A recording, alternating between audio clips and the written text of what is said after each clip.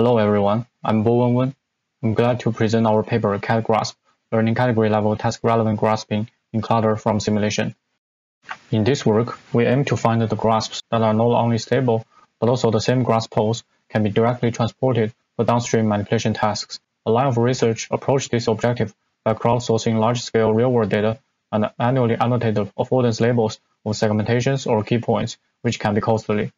The human labeling process also introduced bias and noise to the training labels. In contrast, we developed a self-supervised process in simulation to automatically discover the task-relevant regions for grasping. The perfect labels can be retrieved from simulation for free. The accumulated grasping experience finally lead to a soft probabilistic representation as shown on the right. To verify the effectiveness, we conducted experiments over densely cluttered scenarios composed of real industrial objects with challenging properties. Therefore, our contributions can be summarized as below. Here is the approach overview. The task-relevant grasping is formulated as joint probability of task success as well as grasp success. Given Bayes' rules, the joint probability can be factorized as the power of Pg and the conditional probability Pt given g. Next, we will introduce how to compute each.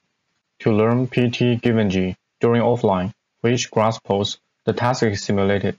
Given the grasp pose and meshes, the contact points can be computed their statistics are updated by counting joint task and grasp success and the total grasp success. The accumulated hand object contact experience eventually results in a task relevance heat map shown on the right. To learn PG, for each object instance, we sample grasps and identify their robustness score.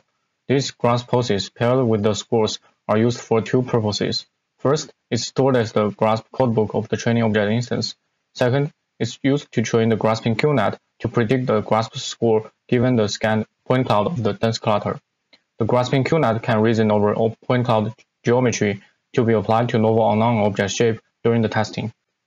Our proposed NUNOCS representation allows to unify the object instance into a canonical space where dense correspondence can be established to aggregate each training object instance's knowledges. The camera takes the point cloud of the scene and performs instance segmentation, predicting NUNOCS representation transferring category level hand object contact experience heat map, hybrid grasp candidate generation via transferring grasp codebook, and sampling over observed point cloud, and finally compute the best grasp to execute. To evaluate the grasp stability, a lifting action is performed. For further evaluation purpose of task relevance, the robot is manually jogged to a good viewpoint for scanning. In-hand 6D object pose is determined by human for placement planning, as it is beyond the scope of this work. The grasp is counted as task-relevant grasp only if it is both stable during the process and it results in a downstream placement success. For grasp failure or task-irrelevant grasps, the attempted object is still removed from the clutter to continue the process. Here shows an example of successful task-relevant grasp. Our framework only needs to train once in simulation and can be instantly applied to various instances within the same category in the real world.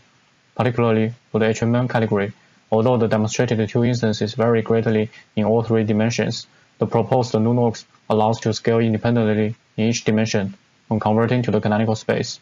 Therefore, more fine-grained dense correspondence can be established to transfer category-level task-relevant grasp knowledge reliably. Finally, we demonstrate comparisons with several baseline methods on similar pile configurations. Our method is able to consistently output both stable and task-relevant grasps, whereas for baseline methods, Failure cases include grasp failure, grasping two objects, gripper obstruction, or arm collision during placement due to undesired grasp pose. For more details, please check out our paper and code.